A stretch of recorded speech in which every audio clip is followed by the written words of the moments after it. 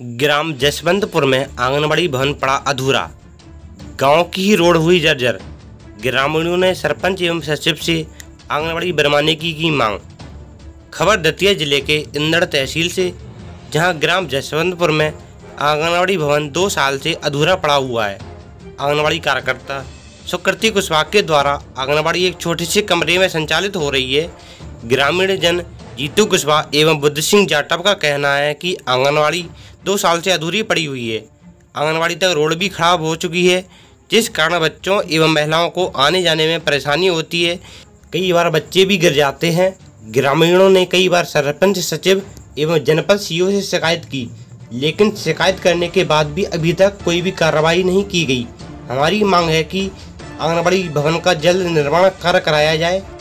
एवं रास्ते को भी बनाया जाए जिससे हम समस्त ग्रामवासियों को परेशानी न हो। जानकारी के अनुसार, सरपंच द्वारा छः साल से आंगनबाड़ी भवन का निर्माण नहीं कराया जा सका। वह भी अधूरा पड़ा है। छः महीने पहले तीस लाख रुपए में डाली गई सीसी पूरी तरह उड़ गई है। ग्रामीण को निकलने में काफ़ी परेशानी का सामना करना पड़ता है। ग्राम के बुद्ध सिंह जाटव ने सरपंच सचिव, उपयंत्री पर खुलेआम भ्रष्टाचार का आरोप लगाया है और कहा कि सारे सबूत मेरे पास हैं। सरपंच सचिव द्वारा घटिया निर्माण कराकर खाना पूर्ति की गई है। कई बार जनपद सीईओ से लेकर कलेक्टर तक शिकायत करने के बाद भी कोई कार्रवाई नहीं की गई जिस कारण ग्रामीणों को शांत होकर घर पर बैठना पड़ा। इंद्रगढ़ क्षेत्र से श्यामू पंडित की रिपोर्ट। सिंह जाटव। क्या समस्या है भाई समस्या ये आंगनबाड़ी में सही कार्य नहीं हो रहा है। बच्चा नाले में गिर रहा है। एक बच्चा गिरने से बच गया और अभी वो जो मान लो उसकी गोली में लगी।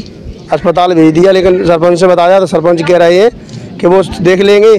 क्या अब अब नहीं कर रहा है हम बात हमने कि साफ़ कर दो भाई हम भी मतलब पंच हैं तो बोले क्या पंच है तो क्या कर लेंगे हमारा?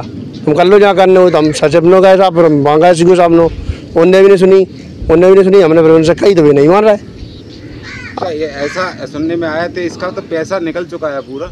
निकल चुका है तो हमसे कह रहे थे पैसा नहीं निकला है। इसमें क्या पैसा निकला घर से लगा दी क्या? तो हमने कि नहीं बात तरीका से करवाओ जाए। तो बोले हम कहाँ से लगा दी? कितने साल से निर्माण काम तीन तीन तीन साल। अभी आंगनबाड़ी कहाँ संचालित होती है?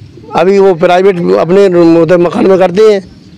अभी सरकारी मतलब नहीं है। हाँ। जीतू कुशवाहा क्या समस्या है आंगनबाड़ी के बारे में? आंगनबाड़ी में क्या यही समस्या है? अधूरी पड़ी हुई है। दो वर्ष हुआ है इसको कार लेकिन अभी कार पूरा नहीं हुआ।